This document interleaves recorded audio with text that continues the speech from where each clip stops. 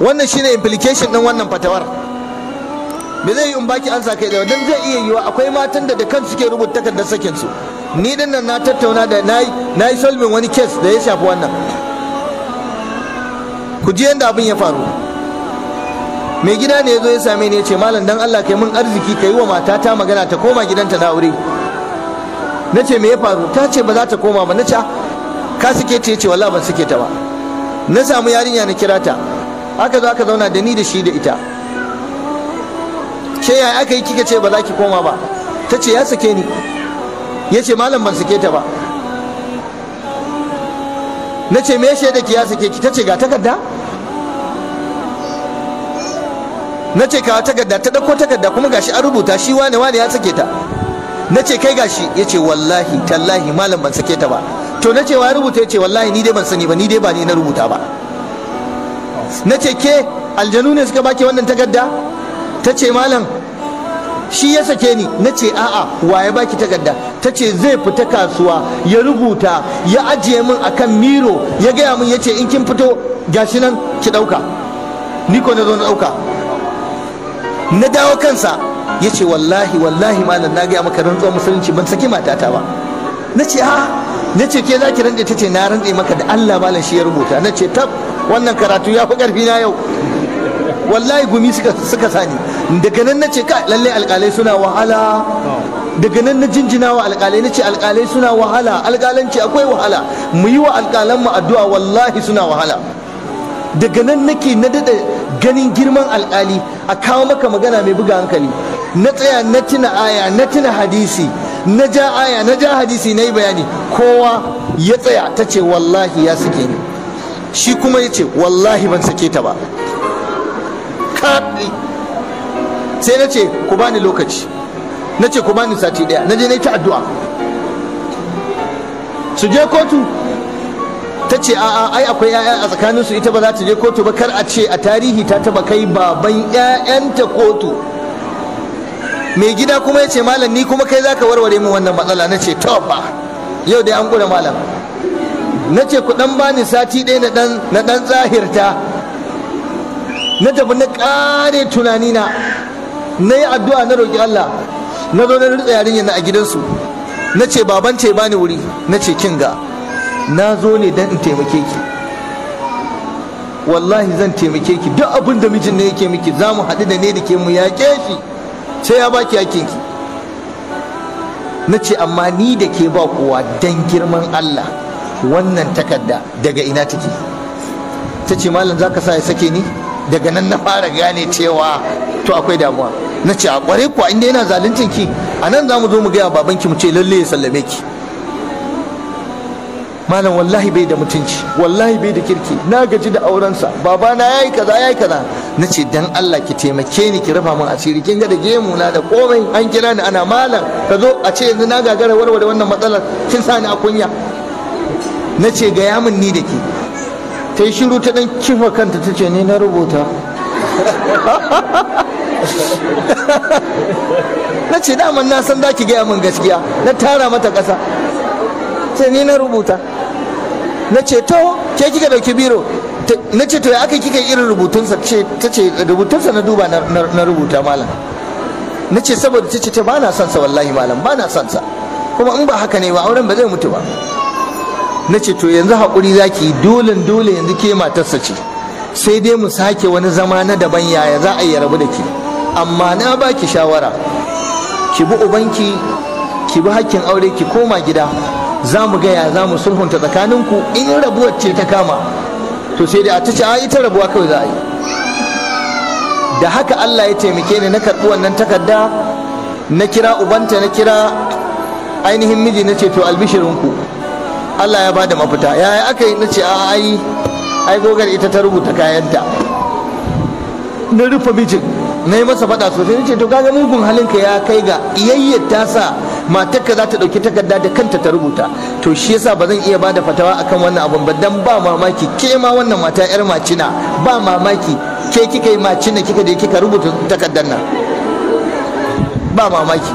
Don haka a samu wasu malamai a kawo takardar a tattauna a kira mijin a kira ki sai a ba da fatawar. Amma a yanzu a iska haka kawai in zo in saki fatawa wataƙila kuma akwai matsala to ba zan iya ba da amsa a kanta ba.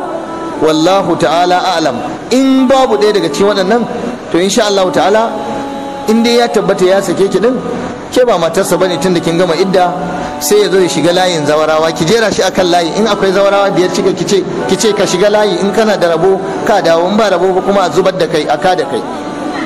Allah ya sami mu. Malam tambaya ta kusa da ta ƙarshe wata baiwar Allah ce take cewa dan Allah malam ya musu ƙarin bayani akan abin da ya shafi wankan janaba. Wasu sun iya wasu ba su iya ba. To Allah karimu rahimu. Shi yasa ake son zuwa makaranta. Shi yasa dole ne mata ku je makaranta. A yanzu a ce ana kan lokacin da za a rinka tambaya kan wankan janaba. Wannan yana da kyau ƙwarai da gaske. Wankan janaba shine wankan da ake yi yayin wankan tsarki da Hausa. Janaba din janaba ne da larabci. Ana yin wankan janaba don fitar mani ko alaka tsakanin miji da mace ko kuma fitar jinin al'ada ko haihuwa jinin haihuwa idan ya ɗauke ana yin wannan wanka. Ya ake yi? Ruwa ake samu mai tsarki wanda zai isa a wanke jiki sai a shiga da niyyar kawar da dauda da najasa ko da janaba din. Sai a yi wanka a wanke jiki gaba ɗaya imam ibn rushd yana faɗa a cikin littafinsa ibn rushd ya ce wa ma yuradu min al-ghusl al-i'aba. Abinda ake nufi da wanka shine gama jiki da ruwa. Duk wanda ya shiga ban daki ya ɗebi farin ruwa mai kyau ya wanke ko ina ya yi wankan janaba. A wanke gashi a tsefe gashi. Duk da akwai sabanin malamai dangane da tsefe gashi in an zo yin wankan janaba wankan haila. Wannan kuma wata magana ce daban. Wasu ce sai an tsefe wasu ce ba sai an tsefe ba. Amma dai a tabbatar da ruwa sai ya ratsa gashi gaba ɗaya mata masu irin irin daurin lilo ɗin nan. In za a yi wankan janaban ko za a yi wannan wanka sai an kwance shi tas ga baki ɗaya. To amma banda janaba ta yau da gobe wanda idan mutum mace tana da kitso ƙanana ta tabbatar tana iya zuba ruwa yana iya ratsawa ba sai ta kwance kitson ba da sauransu. To sannan za a yi tsarki za a kawar da najasa din da take jikin mutum sai a wanke duka jiki. Sifa ta biyu a waccan sifatul ijza ake cewa. Wannan kuma sifatul kamal. Ita sifa ta biyu ita ce mutum ya zo zai yi tsarki a matakin farko sannan sai ya yi karamar alwala. In ce karamar alwala shine a yi alwala amma wankin gaba ɗaiɗai. Bayan an yi tsarki kuma in akwai inda janabar ta taba a jiki sai a wanke. In jini ne in kuma wannan mani ne sai a wanke. To sai kuma a zo a yi alwala karama alwala karama shine a yi irin alwala ta sallah amma wanki daidai. Abu na gaba sai a ɗebi ruwa sai a wanke uku sai a wanke kai sau uku wannan kokon kai.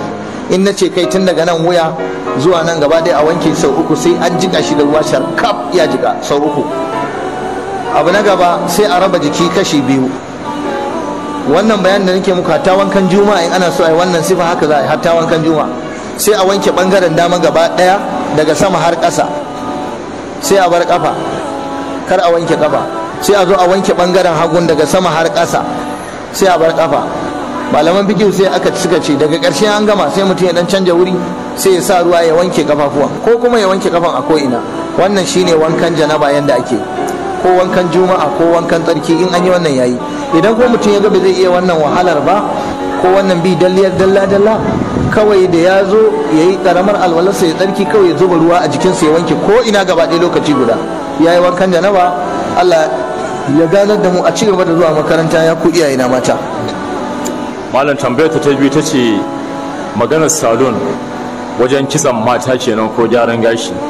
To ta ce wai ita mace musulma ya halatta ta je shagon da kuma wacce ba musulma take ba a yi mata gyaran kitso ko gyaran gashi?